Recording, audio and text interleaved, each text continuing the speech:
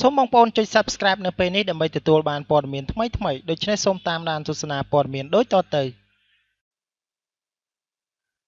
បាទសូមគោរពជំរាបសួរពុកម៉ែបងប្អូនទាំងអស់គ្នាស្វាគមន៍មកកាន់ព័ត៌មានថ្មីមួយទៀតហើយតាក់ទងទៅនឹងតារាចម្រៀងសានសីឡៃបានស្លាប់រយៈពេល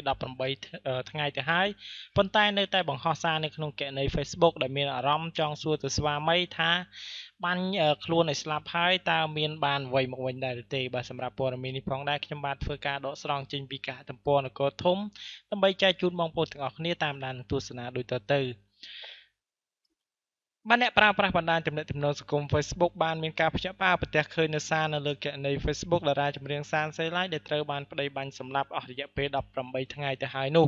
បាទស្រាប់តែលេចសារថ្មីមួយបន្ថែមទៀតសួរទៅកាន់បរិសុទ្ធជាស្វាមីសួរថា បងបាញ់អូនខ្សែបានអីមកវិញបានជាសារមួយដែលធ្វើការបង្ហោះនៅក្នុងគណនី Facebook របស់សានសេឡៃបាននេះសារទូចមួយខាងឆ្វេងនេះបាទជាសារដែលធ្វើការបង្ហោះចែករំលែកទៅកាន់បងប្អូនទាំងអស់គ្នាមិនដឹងថារឿងហេតុនេះកើតឡើងដោយយ៉ាងម៉េចនោះទេបាទកាលពីព្រឹកថ្ងៃទី2បាទខែវិច្ឆិកាឆ្នាំ2017បាទគេហទំព័រ Facebook របស់សានសេឡៃដែលជាតារាចម្រៀងសានសេឡៃបានប្រើប្រាស់ផ្ទាល់ខ្លួនកាលពីនាងនៅមានជីវិត បានបង្ហោះរូបភាពមួយចំនួនបាទក្នុងក្នុងនោះផងដែររូបភាពមួយសន្លឹកនោះក៏បង្ហាញនៅរូបភាពដ៏កក់ក្ដៅបាទរវាងអ្នកម្ដាយសានសេឡៃនិងកូនប្រុសចំនួន2នាក់ដែលពោពេញទៅដោយស្នាមញញឹមនិងមួយសន្លឹកទៀតបង្ហាញពីរូបភាពដែលសានសេឡៃនិង ប្តីដេកស្លាប់ទន្ទឹមនឹងគ្នាបាទជាមួយនឹងប្លុកឈាមបន្ទាប់ពីត្រូវបានប្តីបានបាញ់ប្រហារបាទរួចសម្រាប់ខ្លួនឯងតាមក្រោយបាទជាមួយគ្នាផងដែរក៏មានការបង្ហោះនៅ MV បទចម្រៀងរបស់សានសេឡៃមួយបទដែលមានចំណងជើងថាទប់ទប់ខ្លះទៅព្រមជាមួយនឹងសំណេរថាបងអាបងទប់ខ្លះខ្លះទៅ បានទេបាទរាល់ពេលបងខឹងអូនបងកុំវាយអូន បងស្ដាប់ហេតុផលអូនបន្តិចសិនបានអត់ ទប់ទប់ខ្លះទៅបានទេបើអូនសុំប៉ុណ្ណឹងសម្រួលអារម្មណ៍កុំខឹងធ្វើតាមចិត្តខឹងតែចុងក្រោយបងប្រហាអូនឲ្យខ្សៃបើបែបនេះ ពួកយើងស្រាប់ទៅតើអ្នកណាចិញ្ចឹមកូនកូនយើង បងឃើញទេ ដោយសារតែកំហឹងបងមួយពេលបងធ្វើឲ្យកូនប្រុសយើងទាំងពីរវេទនាមានឈ្មោះជាកូនកំព្រាខ្វះភាពកក់ក្ដៅអស់មួយជីវិត បាទនេះជាសារយ៉ាងវែងអន្លាយនៅក្នុងគណនី Facebook របស់សានសេឡៃដែលធ្វើការបង្ហោះកាលពីថ្ងៃទី2ដែលធ្វើបង្ហោះឲ្យមានការភ្ញាក់ផ្អើលយ៉ាងខ្លាំង បាទតកតងទៅនឹងការបង្ហោះសារមួយដ៏ខ្លីនេះផងដែរអ្នកលេងបណ្ដាញទំនាក់ទំនងសង្គម Facebook ជាច្រើនជាពិសេសអ្នកគ្រប់គ្រងសានសេឡៃបានសម្ដែងនៅការភ្ញាក់ផ្អើលយ៉ាងខ្លាំងនិងងឿងឆ្ងល់ថាហេតុអ្វីបានជាសានសេឡៃស្លាប់ទៅហើយបែរជាទំព័រ Facebook របស់នាងនៅតែដំណើរការមានការបង្ហោះសាររូបភាពវីដេអូប្លែកៗជាបន្តបន្ទាប់ ដូចជាការពីថ្ងៃទី30ខែតុលាឆ្នាំ2017មានការបង្ហោះសារបាត់ទំនេរទំនេរនឹកដល់នារីកំសត់ម្នាក់នេះផងហើយចុងក្រោយនេះស្រាប់តែឃើញសារថ្មីមួយគួរឲ្យភ្ញាក់ផ្អើលមួយទៀតដែលហាក់បីហាក់បីដូចជាមានការសន្ទនារវាងពលឹងសានសេឡៃជាមួយនឹងប្តីដែលបានស្លាប់ទៅជាមួយនឹងគ្នានៅក្នុងថ្ងៃតែមួយទីកន្លែងតែមួយនោះក្រោយពេលដែលស្លាប់បាន18ថ្ងៃ អំពីលទ្ធផលនៃកំហឹងប្រច័នឈានទៅដល់ការធ្វើឃាតនិងធ្វើអត្តឃាតខ្លួនឯងបន្សល់ទុកនូវកូនកំព្រាចំនួន2នាក់រស់នៅយ៉ាងវេទនាឥតមេបាយ៉ាងណាក៏ដោយតាមប្រភពអ្នកស្នាលនិងក្រុមគ្រួសាររបស់សានសេឡៃបានបង្ហើបឲ្យដឹងថា ក្រោយពេលដែលប្តីបាញ់សម្លាប់ទំព័រ Facebook របស់សានសេឡៃនៅតែមានដំណឹងថាបាទប្អូនស្រីរបស់នាងដែលមានឈ្មោះថាសានមីនាងជាអ្នកប្រើប្រាស់បង្ហោះសារនិងព្រមទាំងរូបភាពវីដេអូបទចម្រៀងផ្សេងផ្សេងរបស់សានសេឡៃជាបន្តបន្ទាប់ដែលបង្ហាញពីការនឹករលឹកដល់បងស្រីជាទីស្រឡាញ់ព្រមទាំងចង់ឲ្យមហាជននឹកដល់និងចងចាំដល់បងស្រីរបស់ខ្លួនជាតារាចម្រៀងម្នាក់នេះផង។ បាទសូមរំលឹកផងដែរថាតារាចម្រៀងសានសេឡៃអតីតបេក្ខភាពនៅក្នុងកម្មវិធី The Voice Cambodia រដូវកាលទី2ឈានជើងដល់វគ្គផ្ដាច់ព្រាត់និងជាតារាចម្រៀងដែលសម្ដែងបទចម្រៀងនៅក្នុងផលិតកម្មហងមាសនេះត្រូវបានបរោះជាប្តីលោកជ័យរិនហៅម៉ៅមុខងារជា បាក់កយបាញ់ប្រហារចំនួន3គ្រាប់បណ្ដាលឲ្យស្លាប់ទៅនឹងភ្លុកឈាមកាលពីវេលាម៉ោង4រសៀលថ្ងៃទី16ខែតុលាឆ្នាំ2017នៅចំណុចផ្ទះលេខ 52អឺផ្លូវលេខ360កែងទៅនឹងផ្លូវ57ក្នុងបរិវេណមន្ទីរពេទ្យសម្រាប់ព្យាបាលវាយតឡុងកា មានទីតាំងស្ថិតនៅក្នុងបឹងកេងកងមួយសង្កាត់បចំការមនក្បែរសានីទូទូអប្សរាដោយឡែកបខ្មាំងកំភ្លើងជាប្តីក៏បានបាញ់សម្លាប់ខ្លួនឯងចំសេតផ្កាមួយគ្រាប់បណ្ដាលឲ្យដេកស្លាប់ទន្ទឹមគ្នាពីអ្នកប្តីប្រពន្ធគួរឲ្យរន្ធត់ដោយបន្សល់ទុកកូនប្រុសស្រីសំទោសឲ្យកូនប្រុសចំនួន2រូបបើចំពោះមូលហេតុនៃការធ្វើឃាតកម្មបែបនេះក៏ត្រូវបានក្រុមគ្រួសាររបស់សីឡៃបញ្ជាក់ថាដោយសារតែមានការប្រច័ណ្ឌរបស់ស្វាមី និងសុំអង្វរសារជាថ្មី តែសីឡៃមិនព្រមពីព្រោះតែដឹងថាបរោះដែលជាប្តីនោះ មានប្រពន្ធកូនរួចទៅហើយមុនពេលដែលស្រឡាញ់នាងទើបចុងក្រោយបរោះជាប្តីនោះបានឈាន ដល់ការបាញ់សម្លាប់សានសីឡៃរួចក៏សម្លាប់ខ្លួនឯងតែម្ដងបន្ទាប់បន្ទាប់ពីធ្លាប់បានគម្រាមសានសីឡៃថាបើមិនព្រមត្រូវរើគ្នាវិញមានតែស្លាប់ទាំងពីរនាក់ បានជាការអះអាងរបស់ក្រុមគ្រួសាររបស់សានសៃឡៃបាទដូចខ្ញុំបានបង្ហាញខាងលើនេះជារូបភាពបាទមួយចំនួនក៏ដូចជាវីដេអូមួយដែលប្អូនស្រីរបស់សានសៃឡៃធ្វើការបង្ហោះនៅក្នុងគណនី Facebook របស់គាត់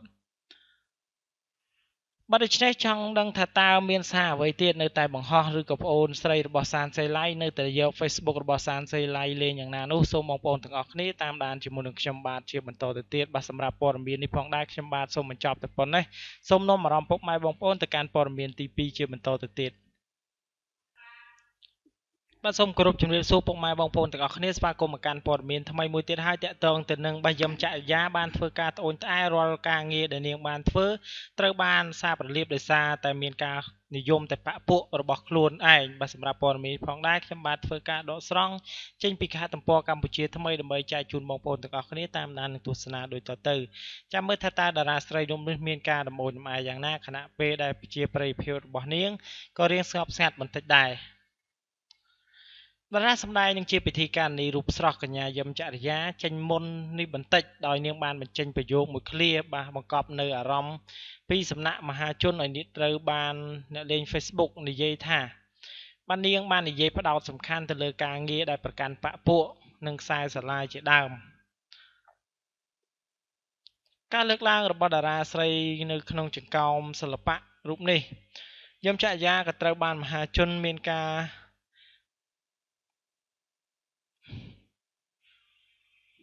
ក៏មហាជនត្រូវបានយល់ថានេះជារឿងពិតរបស់នាងដែលកំពុងតែជួបប្រទះប្រចាំថ្ងៃប្រឈមទៅនឹងវិស័យការងារឯកជនដែលស្ថិតនៅលើវិស័យខ្សែភាពយន្តជាដើមបើប៉ុន្តែ គេអាចនិយាយបានថាយមចរិយាគឺចង់ផ្ដោតសំខាន់ទៅលើចំណុចណាដែលមានការប្រកាសឡើង។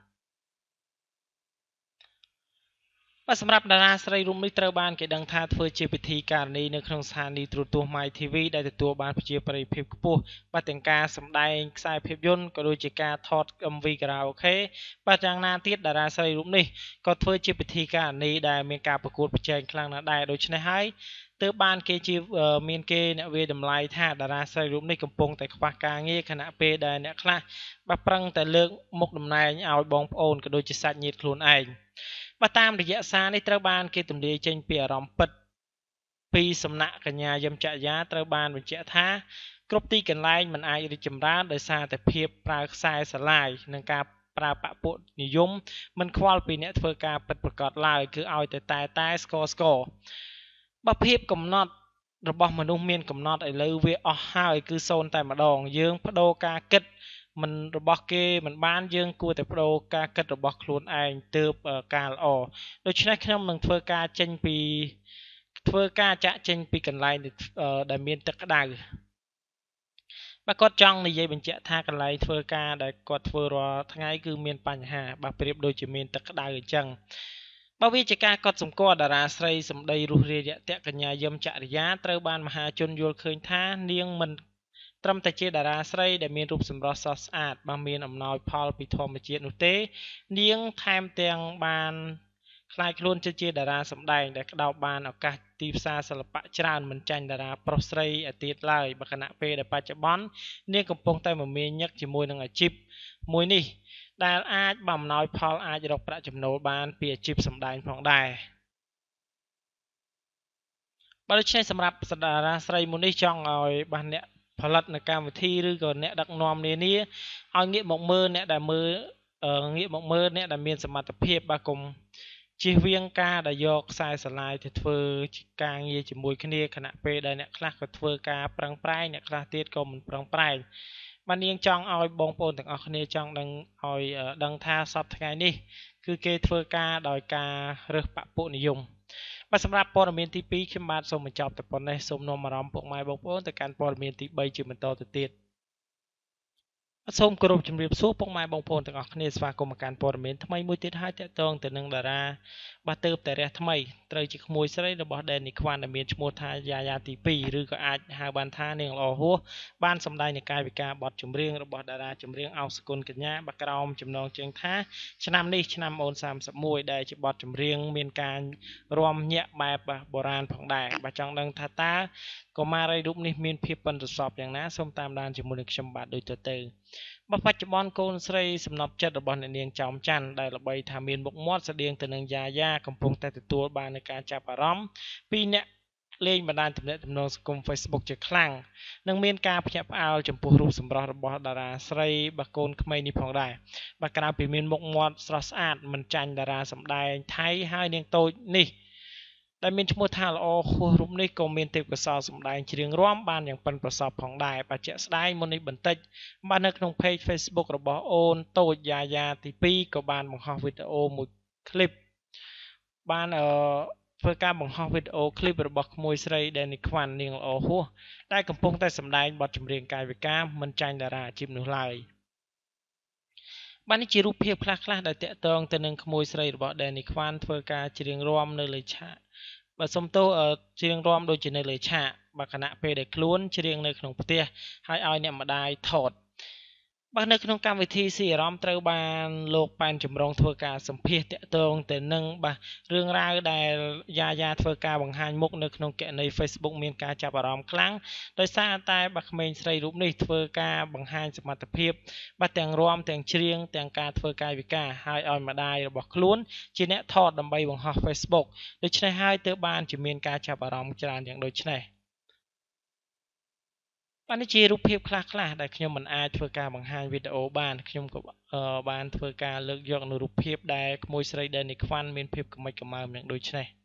ដើម្បីចែកជូនបងប្អូនទាំងអស់គ្នាតាមដានដូចតទៅបាទនេះជារូបភាពបាសក្រៅ ពីវីដេអូដែលក្មួយស្រីរបស់ Danny Kwan ធ្វើការបង្ហាញជូនទាំងឈុតប្រពៃណីបើឈុតសម័យបើឈុតបុរាណយ៉ាងណាការតុបតែងខ្លួនបែបណាក៏ក្មេងស្រីរូបនេះអាចធ្វើបានឲ្យទស្សនិកជនមានការចាប់អារម្មណ៍ដែរដូច្នេះសម្រាប់ព័ត៌មាននេះផងដែរខ្ញុំបាទសូមបញ្ចប់តែប៉ុណ្ណេះសូមអរគុណរាល់ការតាមដាននិងការចុច Subscribe របស់បងប្អូនទាំងអស់គ្នា